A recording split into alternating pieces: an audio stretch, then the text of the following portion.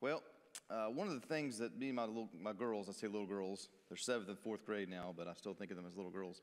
Things we like to do sometimes when nobody's around and nobody can judge us is we'll watch wrestling on TV and uh, professional wrestling.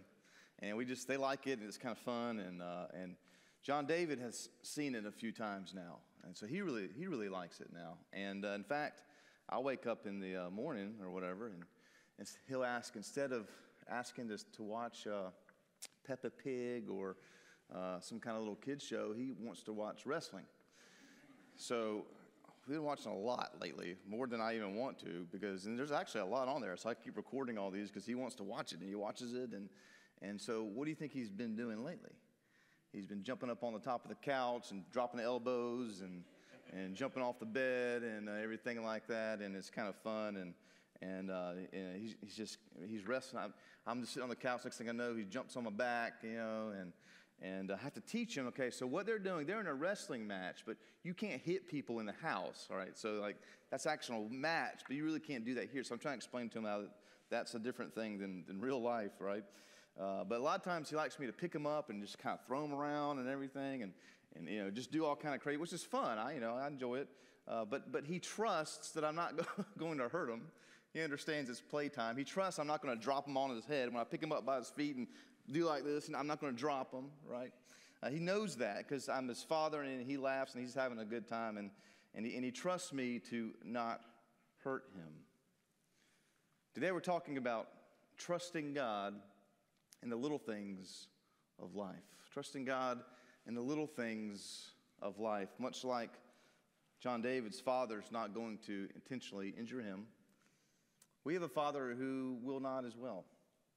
And many times He has a plan for us that maybe we don't quite see, maybe we don't quite understand. And so we're talking about that today as we start a new sermon series on the life of David. We're picking up where David makes his, his uh, first appearance here in 1 Samuel 16, starting in verse 1. The Lord said to Samuel, How long will you grieve over Saul, since I have rejected him? from being king over Israel. Fill your horn with oil and go. I will send you to Jesse the Bethlehemite. For I have provided for myself a king among his sons. And Samuel said, How can I go? If Saul hears it, he will kill me. And the Lord said, Take a heifer with you and say, I have come to sacrifice to the Lord. And invite Jesse to the sacrifice, and I will show you what you shall do. And you shall anoint for me him whom I declare to you. And Samuel did what the Lord commanded and came to Bethlehem. The elders of the city came to meet him trembling and said, Do you come peaceably? And he said, Peaceably, I have come to sacrifice to the Lord. Consecrate yourselves and come with me to the sacrifice. And he consecrated Jesse and his sons and invited them to the sacrifice. Verse 6. When they came, he looked on Eliab and thought, Surely the Lord's anointed is before him. But the Lord said to Samuel, Do not look on his appearance or on the height of his stature, because I have rejected him. For the Lord sees not as man sees. Man looks on the outward appearance, but the Lord looks on the heart. Then Jesse called Abinadab and made him pass before Samuel, and he said, Neither has the Lord chosen this one. Then Jesse made Shammah pass by, and he said, Neither has the Lord chosen this one. And Jesse made seven of his sons pass before Samuel, and Samuel said to Jesse, The Lord has not chosen these. Then Samuel said to Jesse, Are all your sons here? And he said, There remains yet the youngest, but behold, he is keeping the sheep. And Samuel said to Jesse, Send and get him, for we will not sit down till he comes here. And he sent and brought him in. Now he was ruddy and had beautiful eyes and was handsome. And the Lord said, Arise, anoint him, for this is he. Then Samuel took the horn of oil and anointed him in the midst of his brothers. And the Spirit of the Lord rushed upon David from that day forward. And Samuel rose up and went to Ramah. Father in heaven, as we continue to worship today, uh, we pause to look at this passage of Scripture Lord, that you have given us that shows the first step, really, the first appearance of, of King David, one of the, the greatest people in the Bible. People, Lord, a man, Lord, that you have said is a man after your own heart. So as we look at this story, show us uh, some principles we can glean by it about how you are and, and how we should trust you in our lives, Lord, even in the little things in life. Father, I pray that you're uh, with me today, that you speak through me, that you fill me with your spirit, and we ask these things in Jesus' name. Amen. I want to give you today three circumstances, three circumstances in which you can trust God even in the little things of life. Three circumstances in which you can trust God even in the little things of life. Number one, trust God when He changes your plans. Trust God when He changes your plans. Verse 1 says, The Lord said to Samuel, How long will you grieve over Saul, since I have rejected him from being king over Israel? Fill your horn with oil and go, and I will send you to Jesse, for I have provided for myself a king among his sons. Now, a good portion of the first half of the book of 1 Samuel, which you see, we're, we're jumping here in chapter 16. A good portion of it deals with the people wanting a king, asking and begging for a king, God giving them a king, God giving them Saul, and then Saul failing as that king. It also deals with a man named Samuel, who was the last judge of Israel. It was during Samuel's time as judge that the people started to demand a king. Why, why would they demand a king? We had this judgeship working. Whenever they needed a judge, God would rise up with one. Well, mainly they say that they wanted a king so they could be seen as a legitimate country, legitimate power among the nations, because all the other nations had kings. So why don't we have a king, even though God was their king? They wanted a human person, a human representative. Look at 1 Samuel 8, starting in verse 1, says this. When Samuel became old, he made his sons judges over Israel. The name of his firstborn son was Joel, and the name of his second, Abijah, and they were judges in Beersheba. Yet his sons did not walk in his ways, but turned aside after a gain. They took bribes and perverted justice. This is, just comes to show you that you can't control your children. Amen. that might have been too many amens that time. I don't know.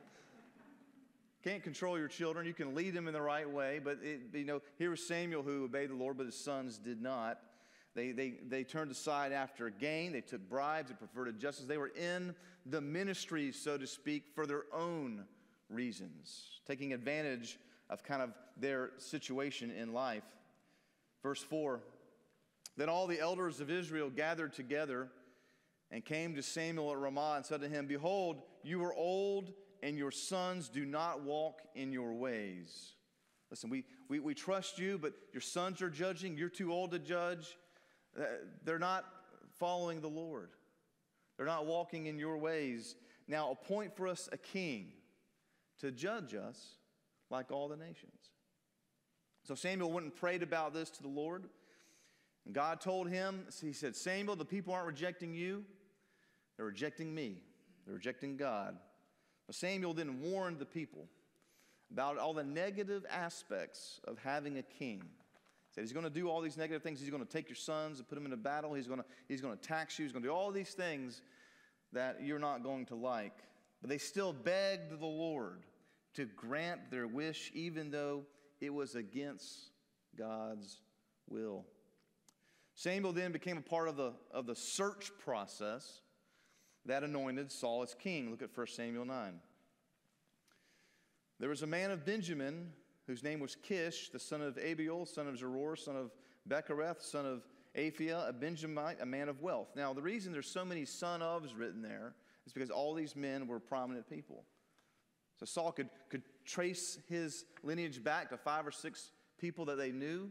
This was a, a very good family, very good reputation, a man of wealth. These were men who were known in the community.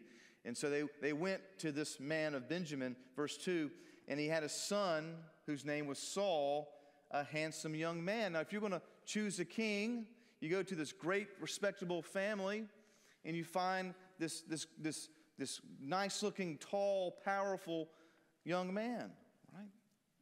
So he was handsome. And there was not a man among the people of Israel more handsome than he. Okay?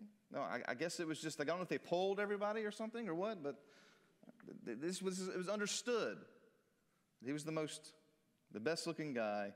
And not only was he the best looking guy, from his shoulders upward, he was taller than any of the people. He was the tallest, the best looking. You know, he probably was the, the, the captain of the football team, those kind of things, if you know what I mean. So they choose Saul. He had everything wealthy, good looking, tall, dark, handsome. This was kind of a, a, lot of ladies' wish list for a husband, right? Probably had a full head of hair, too. He had everything. Everything I don't have. He had it all, right? Tall, anyhow. So Saul becomes king and has then it has immediate military success. Just his first battle, they go and win. And I think this is great. The people loved him, and, and Samuel basically retires at this point. Saul then had another military victory over the Philistines, which is like kind of like their arch rivals. It's like Clemson, Carolina, or something like that. Man, if you can beat the Philistines, we will love you forever, right? And, they, and he had a victory over the Philistines, and, and they celebrated his victory. But then the, the Philistines actually fought back, and Saul wasn't sure what to do about that, and the people became scared. And so Saul was kind of on his heels, and he decided that they needed to worship the Lord which is a great thing to think about. We need to go to the Lord and worship Him because our enemies are on us. But there wasn't a priest around. The priests were the ones that had to do the sacrifices. Samuel wasn't around to ask advice, so Saul offered the sacrifices himself, which is a big no no. Saul was the king, he wasn't a priest. Even he could not do that kind of thing. And and when Samuel hears about it, 1 Samuel 13, Samuel says this What have you done? Saul said, When I saw that the people were scattering from me and that you did not come within the days appointed, and that the Philistines had mustered at Michmash, I said, Now the Philistines will come down against me at Gilgal, and I have not sought the favor of the Lord. So I forced myself and offered the burnt offering. Saul acted in fear. As many times we disobey God when we're fearful. He acted in fear and he disobeyed God. And Samuel said to Saul, You have done foolishly.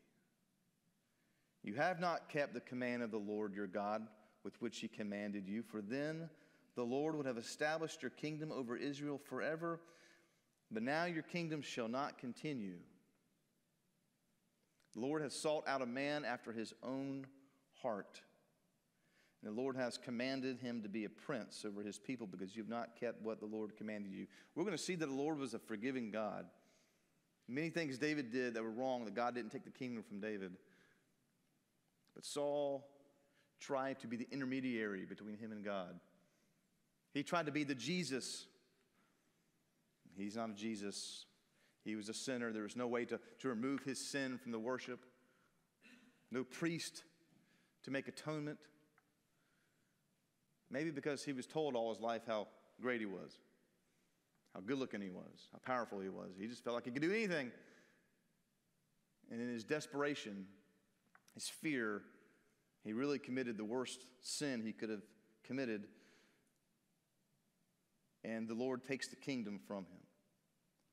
So Samuel is feeling here a mix of emotions. I imagine that the Lord rejected Saul. He was part of the search process that found him, he was an advisor for him. Saul was king because Samuel's sons were worthless, because they did not walk in his way. So he probably feels some guilt over that, even though you can't control that. And at this time, Saul was still king, and he started acting more and more foolishly. So it was kind of an awkward time of transition. So the Lord brings Samuel out of retirement and gives him another assignment to go and find another king from a different family. So Samuel is now understandably fearful. And he says in verse 2 How can I go? If Saul hears it, he will kill me. Remember, you're not only dealing with a fearful king who has just been told the kingdom is take, being taken from your family, you're also dealing with the possibility of committing a political crime. Saul is still the king, a political crime of treason, but God had removed his hand from Saul. So Samuel finds himself in a situation where he must decide either to obey, to disobey the law of the land, or to disobey a direct command from God. Now remember, the law was that the king was the law. But God said he's not king anymore. So Samuel is forced to choose between obeying his country and obeying his Lord. And Samuel makes the right choice. He chooses the right way, even though it seems reasonable it would cost him his life. Even when God changes his plans, he still trusts God, even though he knows he may not live past that decision. Yet God gives him more insight and instruction. He says, Take a heifer with you and say, I have come to sacrifice to the Lord, and invite Jesse to sacrifice, and I will show you what you shall do. And you shall anoint for me him whom I declare to you. The, the official reason for him going to this family, the, Lord loves him, gives him was to worship, which they did. But another reason that he didn't tell him right away was to anoint his son, Jesse, a son of Jesse, as king. Sometimes when God changes our plans or his plans, he's forced to change them for our good because we've gotten outside of his will. We've gotten outside of his will. So God is changing. And Romans 8:28 says that he's always making things good for those who love God. But the problem is he's having to continue to do that because we get out of his will. We sin. So many times we trust God when he changes our plans. Maybe we've gotten out of his will, but we still trust him knowing that he is still working for our good, still working for his glory. And we're going to see, even though the people wanted a king, and even though God gave him Saul, even though God had to go through the painful process of removing the kingdom from Saul and giving it to David, David became a great king. A man after God's own heart. Even though there shouldn't have ever, have ever been a king in the first place. So we trust God when he changes our plans. Secondly, trust God when he changes your perspective when he changes your perspective. Verse 4 Samuel did what the Lord commanded and came to Bethlehem. The elders of the city came to meet him, trembling, and said, Do you come peaceably? Samuel was still a well known leader in Israel, and Bethlehem was a small town.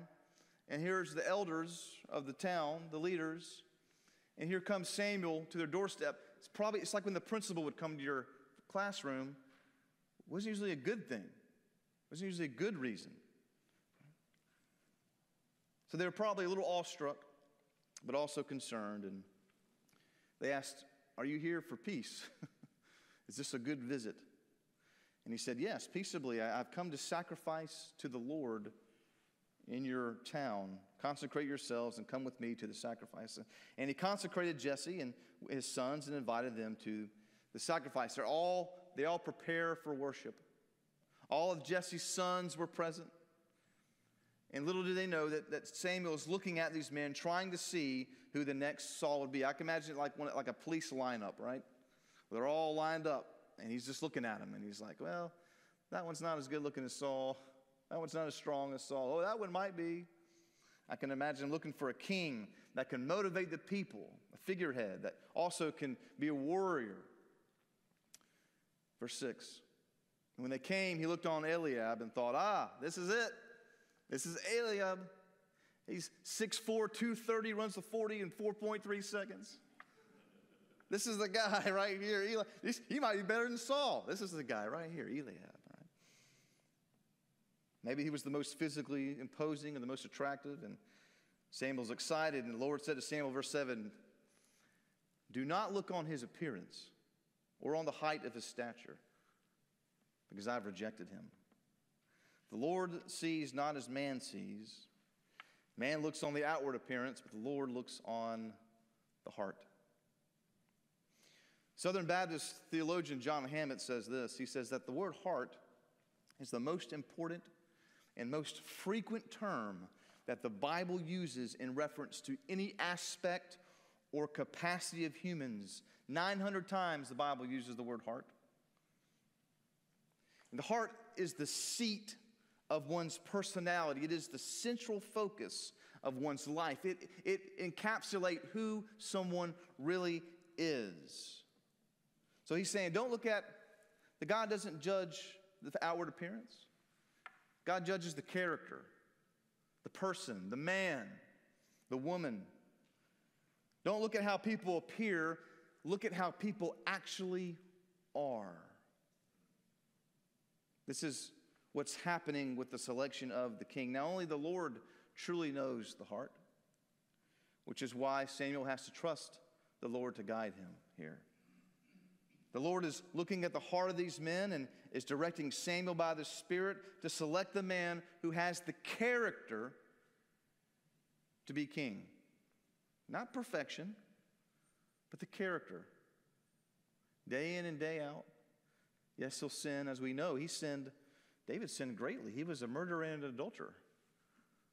But somehow he still had the character to be called a man after God's own heart.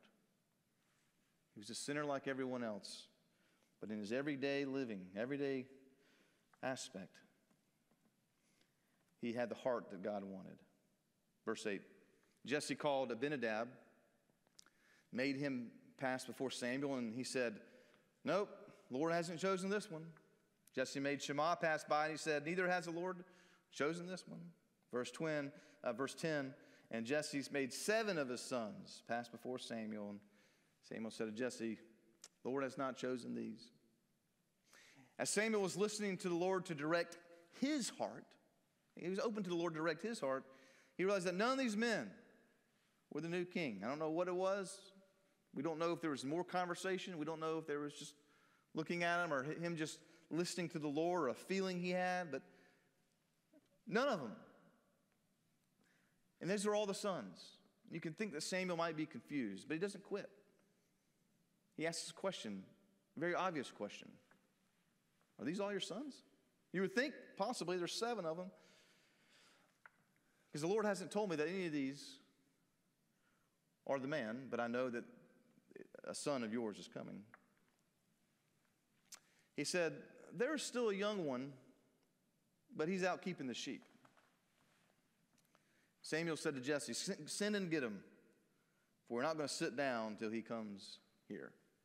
In other words, we're not, we're not leaving until he's here. Jesse seemed to think that his youngest son wouldn't be considered to be a king. He was a shepherd, he was young. But the Lord looks at the heart, verse 12. And he sent and brought him in. Now he was ruddy and had beautiful eyes and was handsome. And the Lord said, Arise, anoint him, for this is he. Now, it's interesting to note that the Lord says God doesn't look at man's appearance, but then there's a description of David here. So I, want us to look at this. Ruddy could mean one of two things that he had red hair, which would be unusual in the Middle East, because the people in the Middle East in the biblical times look just like they do now. I imagine. Of course, I went there years ago, but we imagine so, right? Red hair would have been different. Or he had more of a red complexion. And my granddad kind of had a, a, red complexion to him, you know, and he could take he could take a, a, a, match and light it on his cheek, you know. I mean, you know, he was just kind of a red kind of farmer. I was my granddad, you know, so you know, just kind of a kind of that type of, of look, and uh, it would be different, you know, been different. Red hair, that's odd. Red complexion, bit unusual. Then it says he had beautiful eyes. Now, maybe he did. but can also be translated as he had a good countenance about him. He had a good posture about him. He was mentally sharp. He had some type of calming, charisma. Have you ever met a, a famous person before and you kind of walk in a room and they just kind of have this calming charisma about them? Just kind of puts you at peace, right? Or someone that is well known. I think that's a very possible interpretation. The Lord just say, just look at the outside. This beautiful eyes has this idea of this, his eyes are pretty, it's a reflection of his entire countenance. He had the mental personality to be a king. And then he says he was handsome, which just is quite literally a way of saying he was easy on the eyes. quite literally. It's easy on the eyes. This is not what made him king, but this is what he looked like nonetheless. So we, we, we trust God when he changes our perspective. How many times we see a situation out in front of us and we think, I don't know about that. That didn't look good. Or this looks great. And the Lord changes our perspective. We see things differently. We don't see things the way the world sees them. We start seeing things the way the Lord wants us to see them. So trust God when He changes your perspective. And finally, number three, trust God when He changes your path. The path that you are on. We're all on some type of path in life right now. We are. We're all walking in a journey with Christ. Sometimes we get comfortable on our path. Amen? Sometimes we get comfortable on our path. And sometimes the Lord changes our path. And we see this not only in Samuel's life, but in David's life. Think about David. He's out tending the sheep. He's thinking his life is going to be one where he's the youngest of eight brothers. He's not getting any inheritance.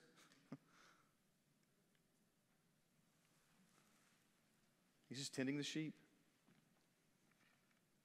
His son, his dad says, David, come inside. He comes in, he's smelly, dirty, been out with the sheep, uh, with the sheep, probably uh, chasing off lions or something like that. Nobody else wanted to do that. Maybe he was watching a little wrestling. I don't know what he was doing, right? and he says to him, You're the next king. David didn't have a, a life goal to be king of Israel. Trust God when he changes your path. Verse 13 Samuel took the horn of oil and anointed him in the midst of his brothers, and the Spirit of the Lord rushed upon David from that day forward. As soon as he was anointed, the Holy Spirit came upon David. This is how the Spirit was in the Old Testament. In the church age, we all believers received the Spirit, but in the Old Testament, the Spirit only touched a few people who the Lord was using for his purpose. In the next verse, it tells us, we don't have it this one, that the Spirit left Saul, which was a tragic thing. This idea of rushed, simply that God came upon David. Not only did he have the character necessary, he now had the Spirit to direct him. And the Spirit advanced into David's life and the direction of David's life was changed in an instance. Sometimes, no matter what we think our plan is in life, we might just be out shepherding or doing whatever God's called us to do. And we come in one day and there's somebody in our house and our life's changed. And when that happens, that can be scary because we have everything planned out normally. I remember the day we found out Emily was pregnant with John David. I had, I had my future planned out. I, you know, my oldest child was six, seven. I wasn't looking for a baby. I had everything planned out. I'll retire at this age, I'll do this at this age, and man, now I'm like, gosh, I'm going to have by the time he graduates high school, I'll have been parenting for 30 years. That was the thought, because Jackson will be 30 when he's 18. And I took about two or three days and crawled up in the corner and re thought about my life. But now I love my life, amen. It's a blessing. And many times God changes your path We need to trust Him when He does that. No matter how scary it might be, no matter how unprepared we think that might be. There's an old story of a man who fell off a cliff. You may have heard this.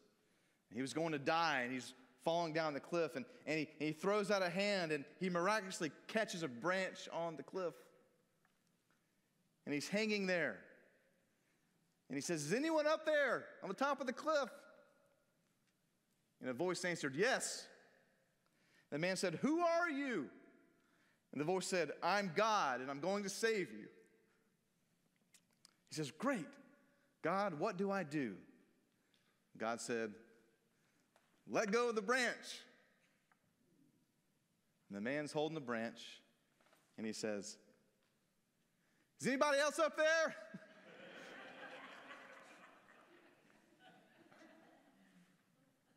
Sometimes the Lord wants us to let go of the branch. Amen. He says, I'm up here. Things are changing maybe in your life. Just let go of the branch and trust me to catch you.